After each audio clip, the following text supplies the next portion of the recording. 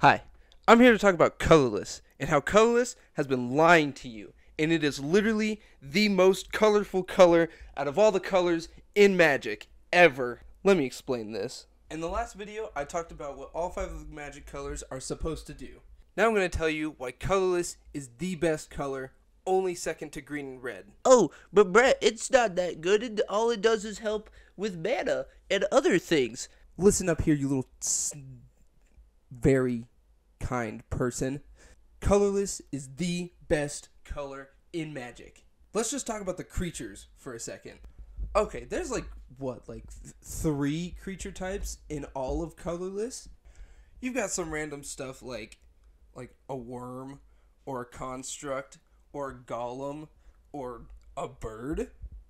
And then you've got these stupid looking Eldrazi's. Do you know what an Eldrazi is?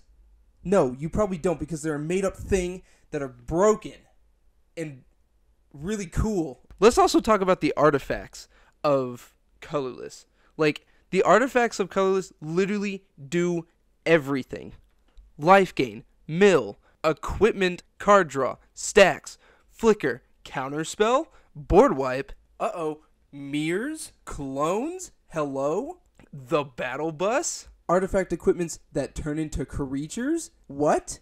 Like, uh, uh, does this not sound like every single color in Magic already? Hello? Why does this gray color do everything that all the other colors do? Colorless already has some of the best combo pieces in the entire game, let alone if you combine it with other colors. Ugh. Let's also not forget about the price tag that Colorless has slapped on its face. You wanted to be a collector? Build a good CDH deck? Play Magic at all? Good luck spending $200 billion. And you may be sitting there thinking, Well, uh, if it costs so much, it's probably because it's it's really good, right? Um, I I think so. Sure.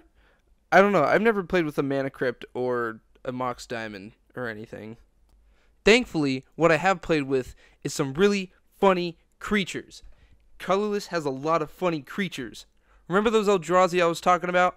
Those guys are some funny creatures. Oh yeah, you've got some silly little combo piece right there. Okay, boom, Annihilator four. Have fun dealing with this idiot that I just cast for free. Oh yeah? You thought that was cool? Boom.